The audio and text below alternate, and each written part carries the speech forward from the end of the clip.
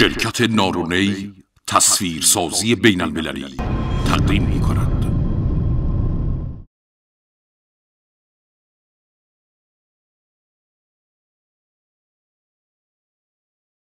خاج نصیر الدین توسی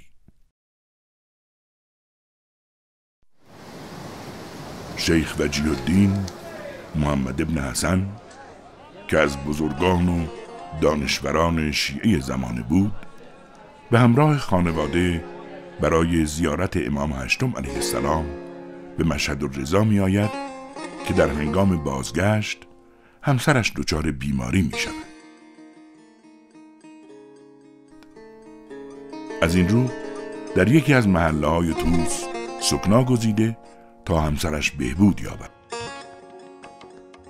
این باعث می شود تا توس دیگر بار محل تولد یکی از مفاخر علم و حکمت شود در پنجم اسفند سال 579 شمسی مقارن با یازدهم جمادی الاول 597 قمری خداوند به این زوج در خطه توس نظری افکنده و کودکی متفاوت با بختی بلند با آنها هدیه می نماید. پدر با تفعل به قرآن کریم نام او را محمد می‌گذارد و به گونه ابو جعفر محمد ابن محمد ابن حسن توسی پا به عرصه هستی مینهد.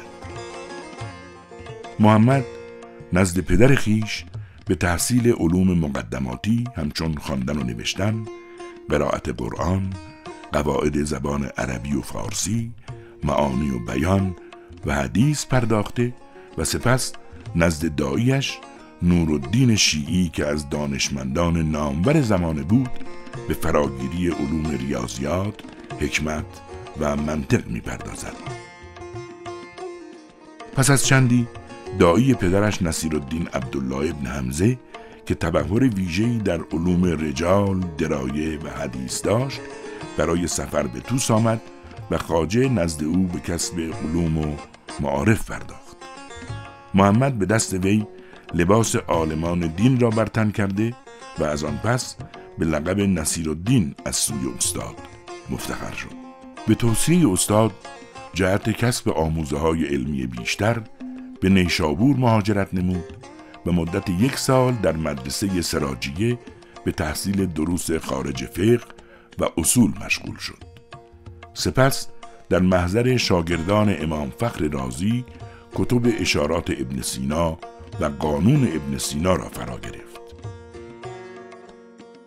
همچنین در نیشابور از محضر عارف نامور آن دیار عطار نیشابوری نیز بهرهمند گردید و با نفس عطار دیدگاه عرفانی او تقویت شد. خاجه از آنجا که همواره به دنبال کسب علوم و فنون بیشتر بود پس از تحصیل در نیشابور به ری سپس قوم و اصفهان شتافت و از آنجا عازم عراق شد.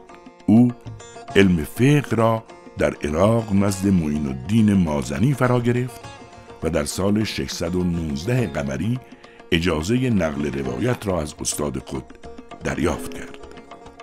در این احوال خاجه از علوم ریاضی و مهندسی غافل نگشته و نزد کمال الدین موسلی از بزرگان علوم نجوم و ریاضی به شاگردی نشست. بدین ترتیب خاجه نصیر الدین توسی دوران تحصیل را پشت سر نهاده و پس از سالها دوری از وطن و خانواده قصد عزیمت به خراسان را نمود.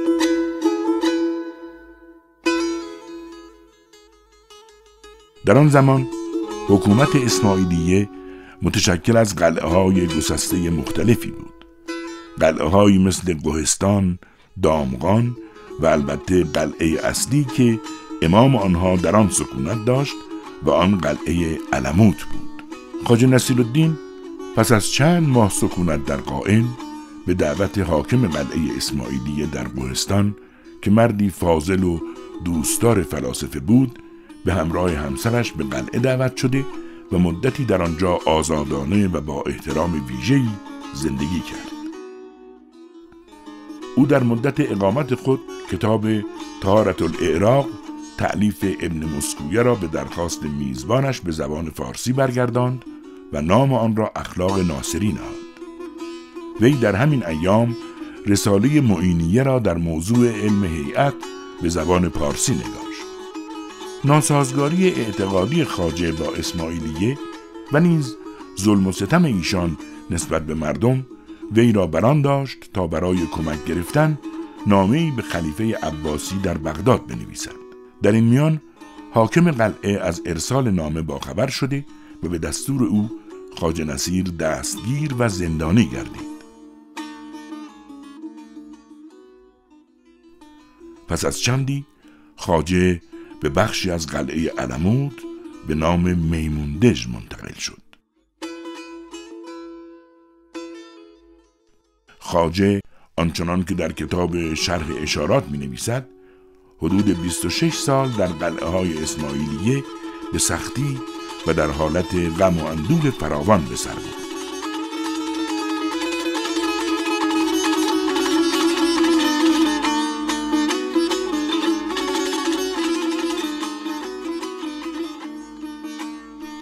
با این حال لحظه ای از تلاش علمی باز ننشست و کتاب ها و رساله های متعددی از جمله شرح اشارات ابن سینا تحریر اقلیدوس و تولا و تبرا را در همین سالها تعلیف کرد.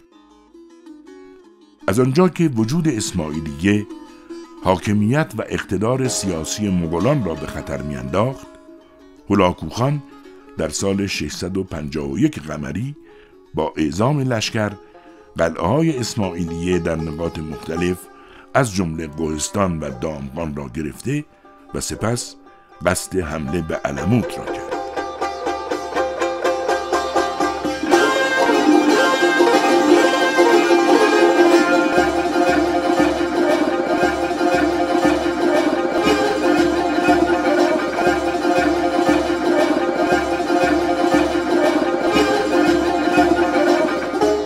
حاکم قلعه علمود پس از مشورت با خاجه توسی علاوه بر تسلیم کامل قلعه از مغولان اطاعت کرده و به دینسان نصیرالدین نقش به سزایی را در جلوگیری از جنگ و خونریزی و قتل عام مردم و ممانعت از به آتش کشیدن کتابخانه بزرگ قلعه علمود به دست مغولان ایفا نمود. مقام علمی و ارزش فکری نصیرالدین موجب شد تا هولاکو که به علم و ادب اهمیت زیادی می‌داد او را در شمار بزرگان خود و به عنوان مشاور برگزیند و در اغلب موارد از او مشورت گرفته و در جنگها و سفرها او را کنار خود داشته باشد.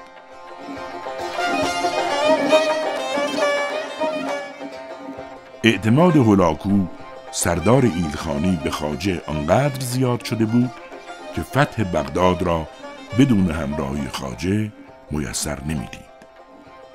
خاجه در فتح بغداد باعث نجات جان تعداد زیادی از دانشمندان آن مرزبون و حفظ کتابهای کتابخانه بغداد شد.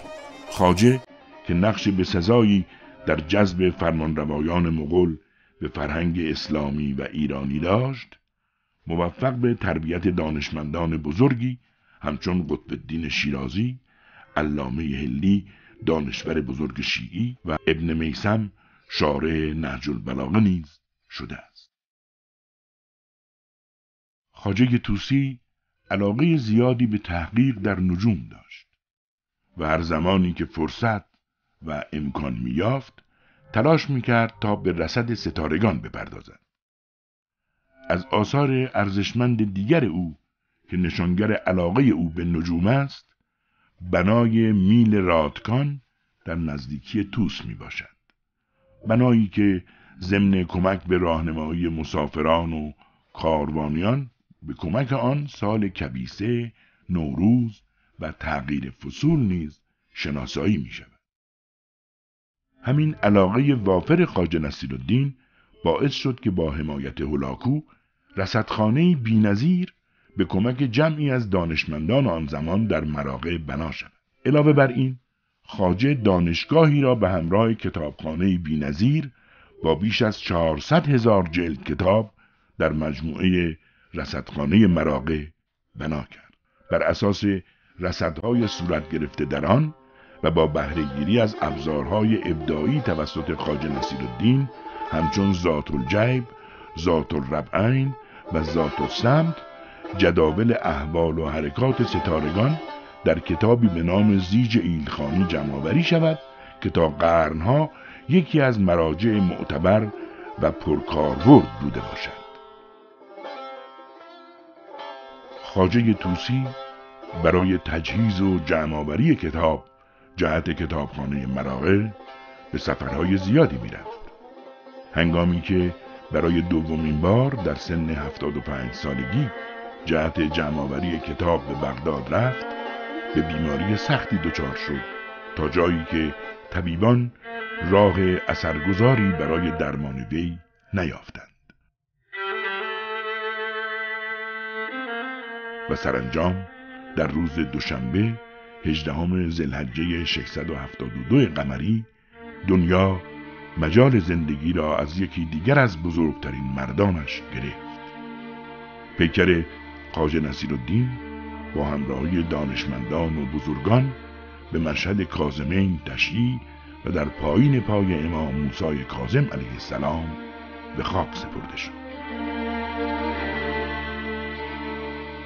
اگرچه خاجه را استاد البشر نامیدند اما بنابر وصیت وی روی سنگ مزارش بخشی از آیه هجدهم سوره کهف را نگاشتند. و کلهم باستون زراعیه بالوسیع این آیه اشاره به داستان اصحاب کهف و سگشان دارد که سگشان به حالت پاسبانی در دهانه غار اصحاب کهف نشسته بود و بدین سان خاجه ارادت همیشگی خود را به ائمه معصومین ابراز نمود.